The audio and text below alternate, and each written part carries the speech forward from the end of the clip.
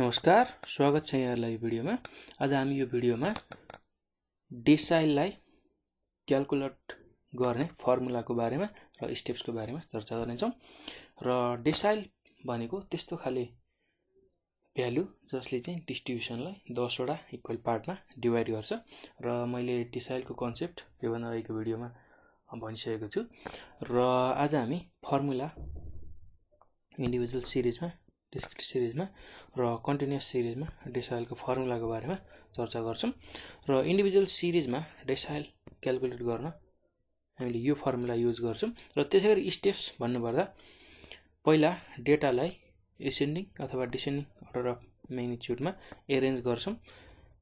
डाटालाई बढ्दो या घट्दो क्रममा एरेन्ज गर्छौँ।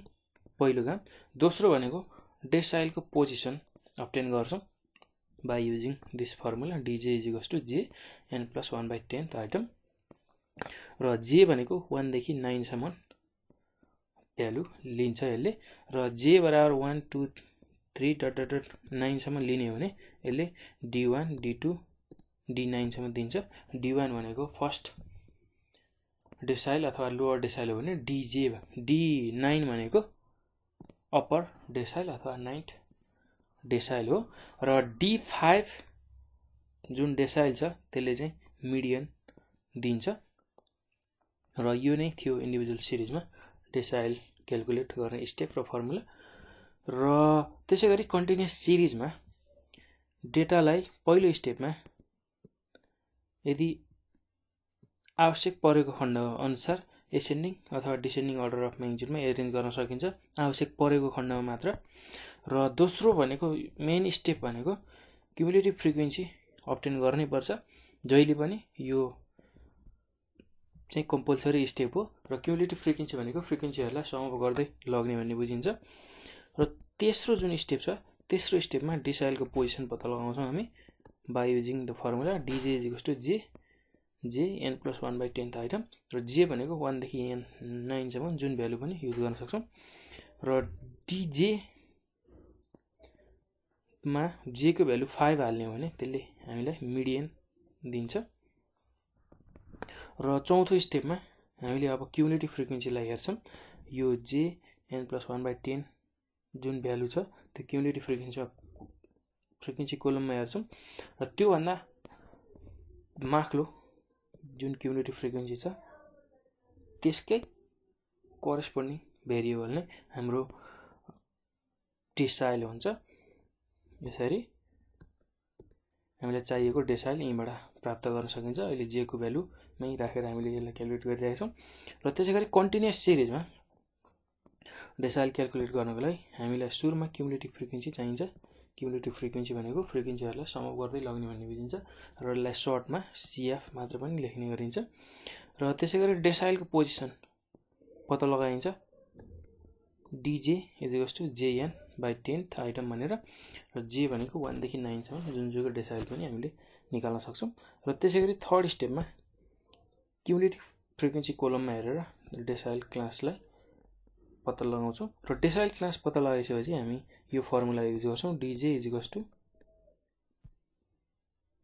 L plus j n by ten minus CF by F into H यो फर्मुलाको युज गरेर हामी हामीलाई चाहिएको रिक्वायर्ड डेसाइलको भ्यालु पत्ता लगाउँछौँ र एल भनेको यसमा lower limit of jth decile हो।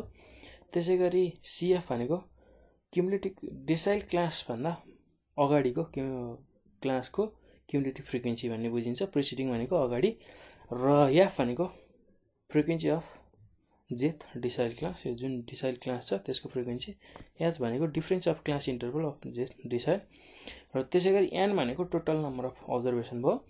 र यदि जेको भ्यालु फाइभ राख्ने हो भने त्यसले मिडियन दिन्छ डिजे अथवा D five D five equals to L plus N by two minus CF by F into H यदि जेको भ्यालु फाइभ राख्ने हो भने यसले मिडियन दिन्छ। र यो नै थियो कन्टिन्युस सिरिजमा डिसाइडलाई कसरी क्यालकुलेट गर्ने भन्ने फर्मुला एकदमै सजिलो छ यो फर्मुलाहरू याद गर्न। लगभग क्वाटाइल जस्तै नै हो। र भ्याल्यु मात्र फरक छ। क्वार्टाइलमा हामी फोरले डिभाइड गर्छौँ सबै ठाउँमा भने यसमा हामीले टेनले डिभाइड गर्छौँ किनभने डेसाइलले दसवटा इक्वल पार्टमा अब्जर्भेसनलाई डिभाइड गर्छ। र आईको ठाउँमा हामीले यहाँ जिएको सिम्बल युज गरेका छौँ। र त्यसै गरी पर्सेन्टाइलमा हामी के को सिम्बल युज गर्नेछौँ। हाम्रो सजिलो सजिलोको लागि हो यो। सजिलो छ यो फर्मुला यो फर्मुलासँग एसोसिएट प्रब्लम मैले भिडियोहरूमा गराएर राखेको छु। त्यसलाई पनि हेर्नु होला सँगै। र त्यो यो र त्यो भिडियोहरूलाई एकैचोटि हेरेर गर्नुभयो भने तपाईँले डेसिल डेसाइललाई सजिलै क्यालकुलेट गर्न सक्नुहुन्छ। र एकदमै सजिलै छ यो प्रब्लम। र इन्टरनल इक्जामहरूमा डेसाइल अथवा पर्सेन्टाइल अथवा क्वार्टाइलहरू क्यालकुलेट गर भनेर सोधिरहेको हुन्छ। हेर्नु होला बुझ्नु होला र तपाईँहरूलाई यसमा बुझ्न कुनै कन्फ्युजन भएको छ अथवा अप्ठ्यारो भएको छ भने तपाईँहरूले हामीलाई सम्झाउन सक्नुहुन्छ। त्यसको लागि nine eight four nine five nine five eight nine five यो हाम्रो सम्पर्क नम्बर। त्यसै गरी स्ट्याटिस्टिक्स लर्निङ नेपाल। यो हाम्रो फेसबुक पेज हो। यसमा पनि जोडिएर आफ्नो समस्या हामीलाई पठाउन सक्नुहुन्छ र हामी त्यसको समाधान तपाईँहरूलाई दिनेछौँ। र यो भिडियो हेरिसकेपछि लाइक सब्सक्राइब र सेयर गर्न नभुल्नु होला धन्यवाद।